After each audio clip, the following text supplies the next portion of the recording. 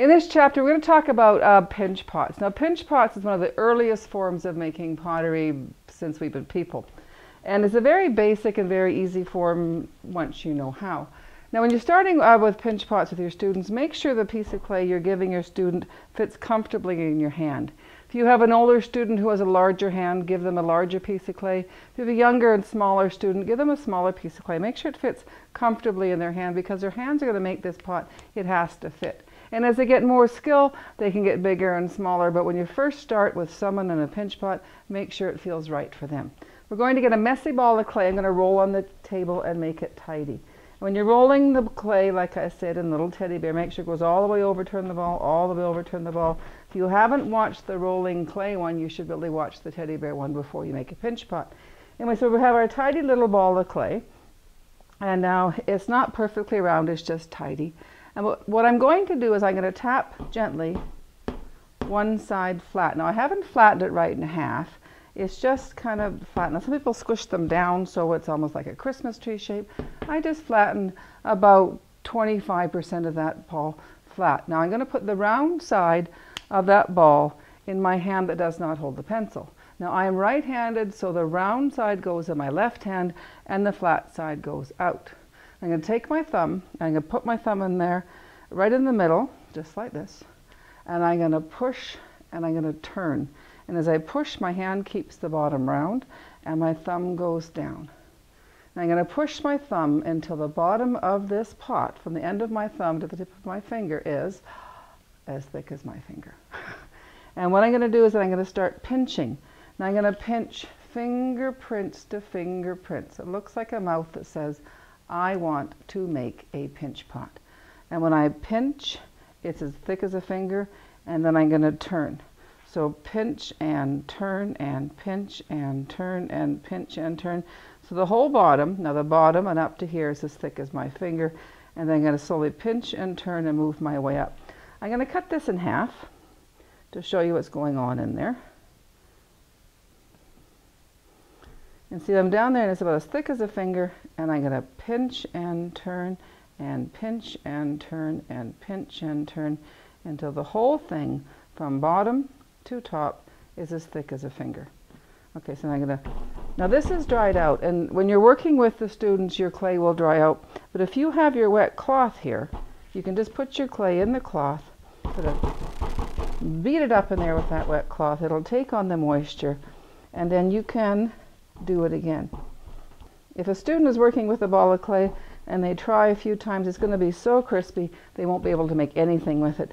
So we're going to go quickly again, roll it into a tidy ball, making sure it goes all the way over, all the way over. Tap it tidy. So now I'm going to push and turn and push and turn, keeping the bottom round with that hand, and push and turn and pinch. Now I'm pinching my fingerprints Again, fingerprints to fingerprints. You can see where my hand is wet. And pinch and turn and pinch and turn, gently moving your way up. Now this guy here is connected to you. So you're going to think that this guy's your friend because he wants to make a pinch pot. He's not your friend. No.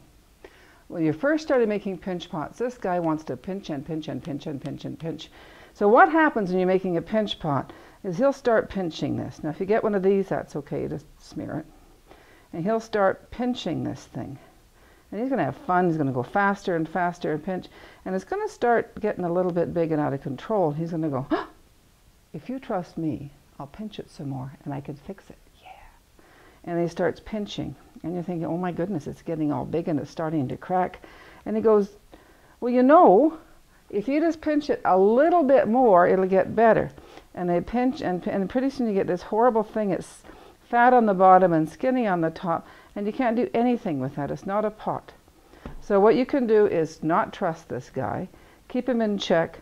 Again, you've got your wet cloth. This pinch pot didn't work either. Put it in there. Put some more moisture into it. Now this time, I'm not going to trust that guy.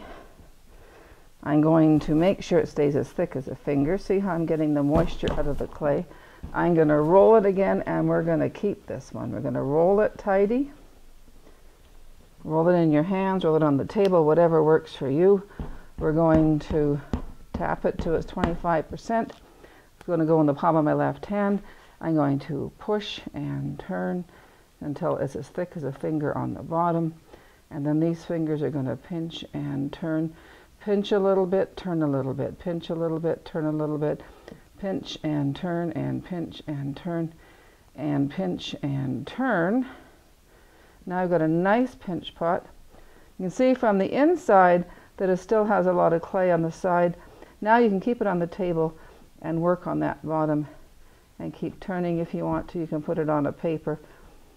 Now I have this nice pot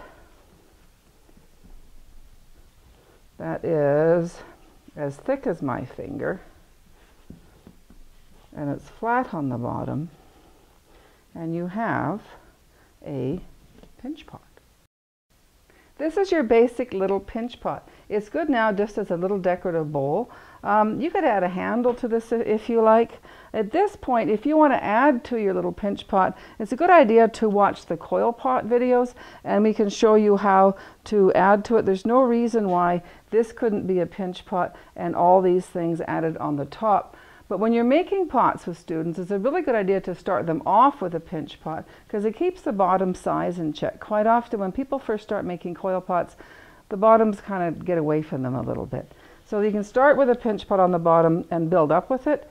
It's also, when you're working with students as they get older, they're going to want to compete to see who can make the biggest coil pot. It's not a competition or an exhibition, it's merely a lesson in informing clay.